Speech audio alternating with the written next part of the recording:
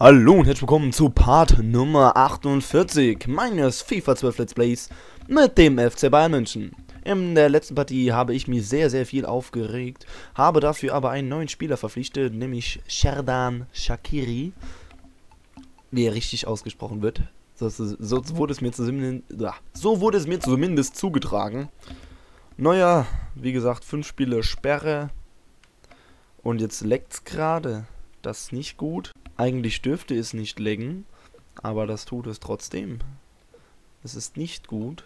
Gehen, äh, speichern brauche ich gar nicht. Nächste Partie gehen wir jetzt. Mein Teammanager steht dann dort. Was haben wir denn zu tun? Ranocchia muss ganz raus. Tatsache. Jetzt haben wir natürlich zwei neue Spieler. Ne, drei neue Spieler und einer ist direkt mal mit Rot vom Platz. Aber zwei Spieler, obwohl er eine Gelbrote hatte, was schon mal gar nicht geht. Das ist nämlich nicht möglich.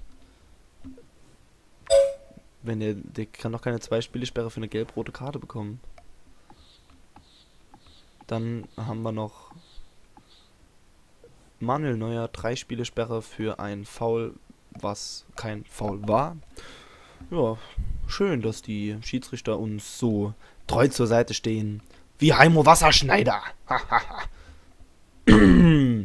8. September 2012, Anstoß 15.30 Uhr, Bayern München gegen die Eintracht aus Frankfurt.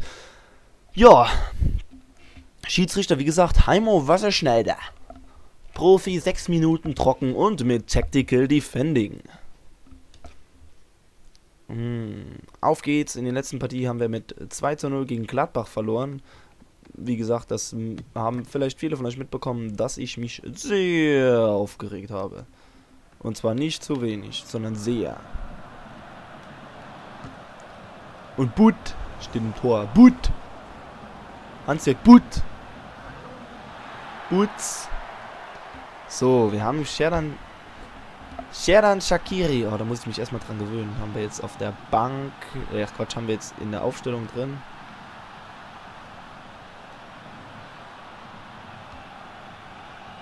Und ich bin mal gespannt, was der so bringen kann. Ob der jetzt so einer ist wie Ribéry. Der läuft, läuft jetzt auch mit der Nummer 7 rum. Shakiri hat die Nummer 7. Wir können nicht gegen einen Aufsteiger verlieren, das ist mir schon mal ganz klar. Also wir dürfen nicht gegen einen Aufsteiger verlieren. es ist ja zu Unrecht geschehen, dass Manuel Neuer mit der roten Karte vom Platz geflogen ist. Aber was soll man tun? Man kann sich nicht dagegen wehren. Man kann keine Revision erlegen, gar nichts. Warum marschieren die hier einfach so durch? Na egal, jetzt geht's erstmal für uns nach vorne.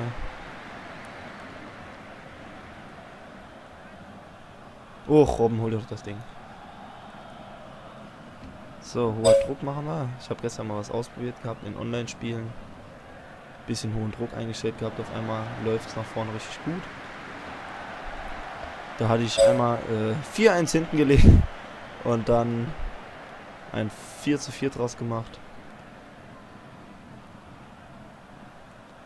Schweinsteiger. Müller. Schweinsteiger. Auf geht's zu Pato. Pato. Oh, da steht einfach Robben. Nein, nein, nein. Wieso macht er das Ding nicht rein? Ich glaub's nicht.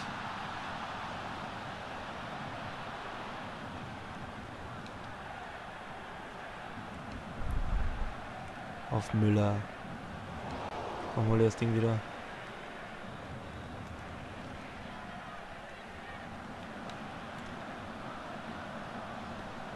Sharon Shakiri. Was hat denn der für einen Fuß? Das habe ich noch gar nicht nachgeschaut. Oh, da haut er noch vor mir raus. Ich wollte jetzt einfach mal schießen. Aber jetzt habe ich, jetzt weiß ich nicht, was der für einen Fuß hat. Ich glaube mal rechts, oder? Muss ich einfach mal nach, nachschauen gleich. Schauen wir mal schnell. Ich gehe mal davon aus, Rechtsfuß. Nein, er ist Linksfuß. Toll. Gut nachgedacht, Junge. Ja, bleib einfach da stehen. Auch Mist. Kajo. Köder. Da haben wir viele Leute, die ich zum Beispiel gar nicht kenne. Also ich kenne ja nur die ersten Ligaspieler, die von... Da kenne ich jetzt nur Alex Meyer. Kajo kenne ich, aber Zavellas habe ich noch nie was von gehört. Komisch. Ich habe mich immer so gut ausgekannt mit den Spielern, aber irgendwie im Moment verfolge ich das kaum noch. Ich sehe nur noch die erste Bundesliga und dann sieht man eben nur noch, wie jetzt immer ganz neue Spieler aus Griechenland, was weiß ich woher kommen, die, von denen man noch nie was gehört hat. Papadopoulos, habe ich auch gedacht, was ist das für einer? Und jetzt hat er hier bei FIFA so ein Riesentalent. Jetzt hol ihm doch mal einen an Ball ab, ich glaub's nicht. Abseits. Also ich darf diesmal nicht mehr so übermütig werden wie im letzten Part und jeden umgrätschen. Das hatte sich nicht gelohnt. Komm schon her, komm schon her, komm schon her, komm schon her, komm schon her. Ha, nass gemacht. Und dann Fehlpass. Oh. Ja, pass ihm ruhig in den Lauf. Pass ihm in den Lauf. Und so lahm. Und dann grätscht der am Ball vorbei. Und wie sowieso am Ball vorbei. Ich glaub's nicht. Also bei mir läuft jeder Mensch am Ball vorbei. Jeder Spieler, würde ich sagen. Jeder Mensch. Ah, jetzt leckt's. Halt, stopp. Jetzt machen wir Pause. Ich kann so lange keine Aufnahme machen, wie das hier weiter leckt. Das ist immer wieder scheiße, muss ich ehrlich sagen. Es liegt an der Grafikkarte, soweit ich weiß. Oh, Müller. Oh, das gibt's doch nicht. Das liegt an der Grafikkarte AMD, die haben da irgendwelche Probleme. Dann kommt es immer wieder zu Mikrorucklern. Was natürlich für mich jetzt gerade mal gar nicht so gut ist. Das gefällt mir nämlich gar nicht. Bato hat jetzt die 9. Ach, Mist. Ja, mach Kamikaze, Junge. eh. Dann fange ich wieder an zu grätschen, wenn das so weitergeht. Und dann sieht's böse aus für euch. Habt da gar keine Chance mehr. Wenn ihr mir nicht freiwillig den Ball über, überlasst. Übergebt, sozusagen. So wie jetzt. Uh, Thomas Müller mit dem 1 zu 0 in der 35. Spielminute. Yay. Ich habe ja gesagt, ihr müsst mir nur freiwillig, freiwillig den Ball geben, dann lasse ich euch in Ruhe. Das habt ihr jetzt getan. Ein böser Abwehrfehler. Und Müller hätte ja eigentlich auch mit rechts ver verwandeln können, aber wieso? Ihr wollt ihn unbedingt mit links in den Winkel schießen. Na gut. Wenn er das will, wenn das sein Stil ist, dann hat er es jetzt erfüllt. Thomas Müller mit dem 1 zu 0. Gut. Diese erste Hürde hätten wir schon mal geschafft, die Führung zu übernehmen. Jetzt geht es daran, die Führung auszubauen. Super Pato. Super von Pato nachgesetzt. Boah, es war faul. Das war ein grobes Foul. Da kann man schon mal rot geben. Haben wir einen guten Links, ne, guten Rechtsfuß. Ach, wieso? Ah, jetzt leckt's schon wieder. Diese Lecks können jemanden schon mal sehr nerven, das muss ich ganz ehrlich zugeben. Oh, oh, oh, abgefälscht, das gibt Eckball. Diese Lecks gehen mir wirklich auf den Nerv. Oh. 2 zu 0 für Mainz gegen Hertha BSC. Shakiri beim Eckball. Oh. Oh, was war denn das? Das war doch kein Foul. Was hätte den jetzt absichtlich umgelegt mit seinem Schussversuch?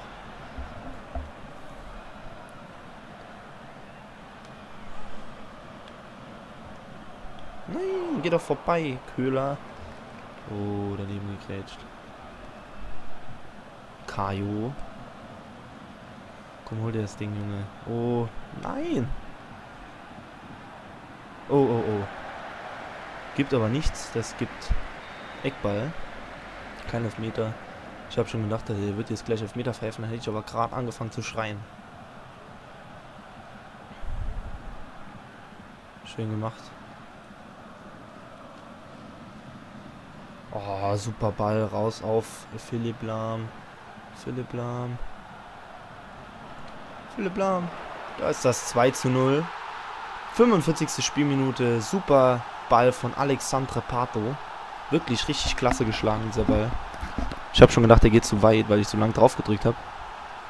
Aber da kann Lahm schön über die linke Seite eindringen und das Leder wiedermals oben rechts verwandeln, genau wie Thomas Müller eben. Also 2 zu 0 gegen den Aufsteiger, Meister gegen Aufsteiger. Sollte man eigentlich nicht anders erwarten. Und wieder ein individueller, Ab ein individueller Abwehrfehler. Oh, dann geht er auch richtig ran und behalt den Ball. Aber das willst du anscheinend gar nicht. Gut so von Mats Hummels. Ei. Ja, Halbzeit. 2 zu 0 zur Halbzeit. Ein ganz respektables Ergebnis. Wir haben uns gut geschlagen. Hier hätten wir noch mehrere Tore schießen können, ist natürlich klar. Aber da habe ich mich nicht so gut verhalten in dieser Situation. Jetzt legt es natürlich schon wieder. Werde ich mal kurz Pause machen nochmal. So, jetzt hoffe ich, dass diese Lecks jetzt mal für eine kurze Zeit aussetzen oder einfach mal nicht erscheinen. Weil ich würde nämlich jetzt gerne frei aufnehmen. Ohne Fehler, ohne Unterbrechungen. Grätsch! Stirb! Stirb! So. Wir brauchen uns ja jetzt nicht aufzuregen. Oder ich brauche mich jetzt vorerst nicht aufzuregen. Wir führen ja 2 zu 0, ganz gemach. Wir haben gar keinen Grund, uns aufzuregen. Und die Abwehr macht immer wieder Fehler. Die, also die Abwehr der Gegner. Auch wenn sie jetzt mal was gut macht. Sie machen die ganze Zeit Fehler. Und Robben kann sich auch nicht im Kopfball durchsetzen. Oh, super. Nein, äh, super. Jetzt, ich sag ja, das habe ich schon öfters mal gesagt. Man soll den Tag nicht vor dem Abend loben. Vor allem soll man die Spieler gar nicht loben, weil die erstmal was richtig machen und dann gar nichts mehr. Das gibt es einfach nicht. Ich, ich kann sagen, was ich will. Wenn ich sage, oh super, hast du den Ball geholt. Bam, verliert dann wieder. Wenn ich sage, oh super, hast du den weggekrätscht. Bam, kriegt er rot.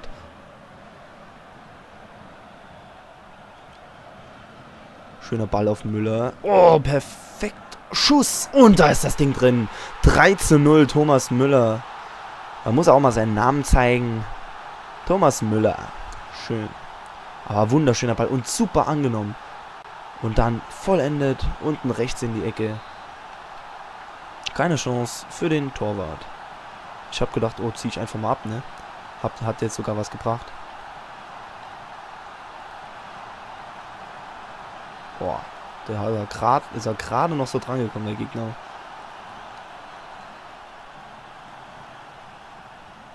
Matmur. Matmur. Hol dir das Ding, Junge. Jetzt fängt schon wieder an zu lecken. Oh, Pause. So, da bin ich wieder. Irgendwie muss ich das ja hier hinbekommen, mal ohne Pause in der Aufnahme. Aber das wird wohl nicht mehr geschehen. Dann habe ich äh, vor ein paar Minuten einen Kommentar bekommen von... Mist, jetzt habe ich den Namen vergessen. Ähm, warte, war das? Irgendwas mit 2010. Seafighter 2010 war es, glaube ich.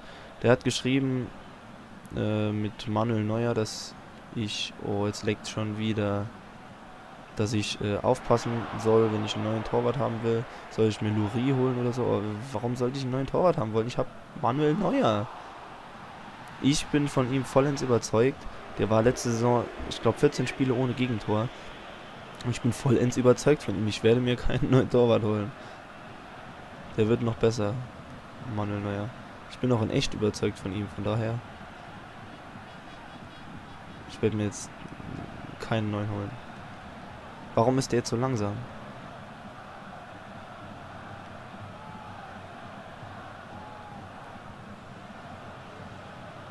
Gut so. Hol das Ding nochmal.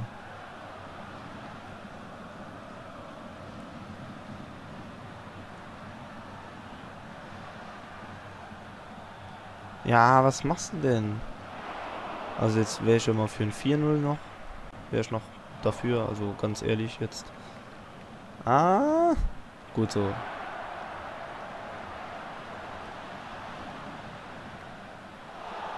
Wenn es jetzt noch einmal aufhört hier, äh, noch einmal anfängt mit dem Lecken, dann werde ich doch noch aggressiv heute. Aber Leverkusen-Hoffenheim gerade das 1 zu 1 erzielt.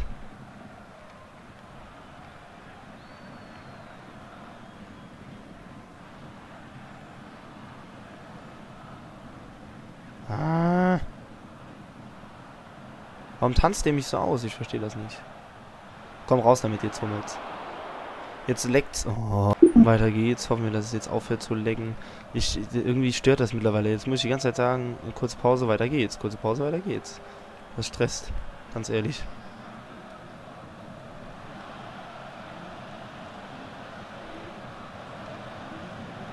Oh.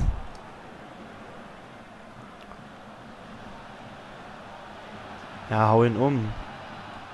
Ich habe jetzt wieder Lust zu grätschen, aber nicht unnötigerweise. Wir führen ja 3-0. Kann uns eigentlich nichts mehr passieren, würde ich sagen. Boot bleibt drin. Boah, fliegt er da am Ball vorbei.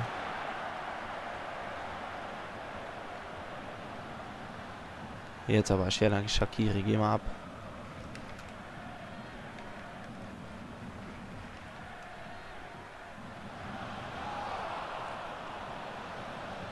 Lahm. Oh, da ist ja gar keiner. Schade. Heieiei. Auswechslung. Korkmaz kommt ins Spiel. Ümit Korkmaz. Flanke in die Mitte, da steht Thomas Müller, aber der ist nicht zum Schuss bereit. Weil dort ein Gegenspieler steht, der ihm den Ball vor der Nase wegschnappt.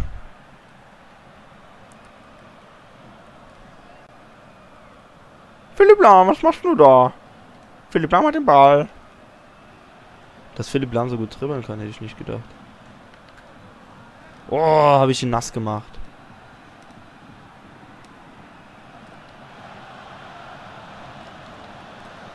Oh, was macht der? Den hätte ich fast noch gehabt. Warum holt sich Thomas Müller diesen Ball nicht? Den hätte er super voll, wan voll wandeln, nein, verwandeln können. Bam! Wow! Alter, war das ein Schuss. Einfach mal drunter gehalten. Drüber. Schaut euch das an. Jetzt leckt es zwar ein bisschen, aber bam, boom.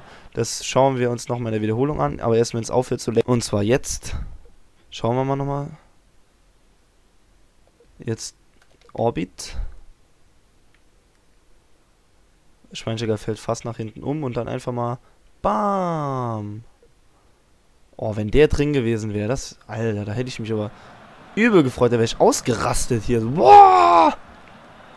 Und jetzt macht er schon wieder so einen kurzen Ball. Ich bekomme den schon wieder nicht. Da wäre ich aber total ausgerastet jetzt. Was war denn das für ein Schuss, bitteschön, von Schweinsteiger?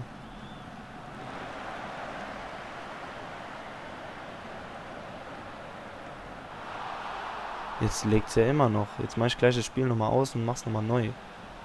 Oh, das mit den Lecks lasse ich jetzt. Dann spiele ich halt so durch. Oder auch nicht. Das ist einfach scheiße, muss ich ganz ehrlich sagen, dass es die ganze Zeit diese Lecks gibt. Ist einfach nur AMD bedingt. Aber ich bin kein so Nvidia-Fan. Und ich kaufe mir nicht für sowas extra eine neue Grafikkarte, nur weil ein Spiel nicht richtig programmiert ist, dass es nicht mit AMD-CPUs, äh, GPUs läuft.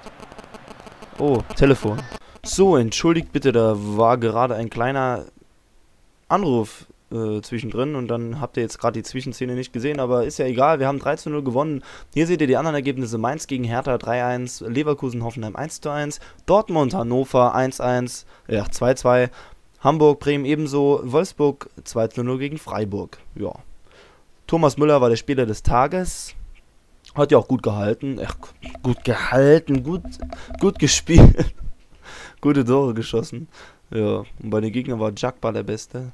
Weiter geht's ins Menü.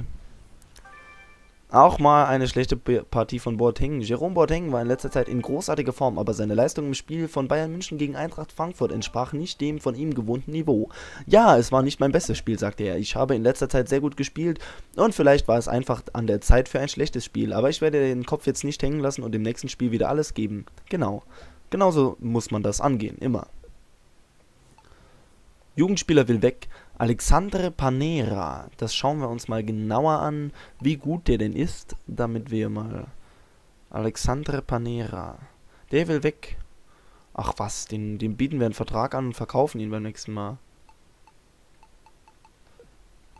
Vielleicht gibt es ja noch ein bisschen Geld dafür oder so. So. Oh, wann kriegen wir endlich diesen Agostinho Rios? Ich will, dass der endlich 16 wird oder äh, mache ich erst mit 17 oder so nicht und nehme den mit 16 oder Vertrag und er wird direkt verliehen. Und gut, noch einmal weiter bis zum Spiel gegen Rosenborg-Trondheim oder wie ist das? Schauen wir mal schnell. Champions Cup, Liga-Tabelle. Nein, F. Nein. Hm? Wo sind wir denn? Wo sind wir denn? Ah, hier. Spartak Moskau. Hm, okay. Spartak Moskau. Merke ich mir mal.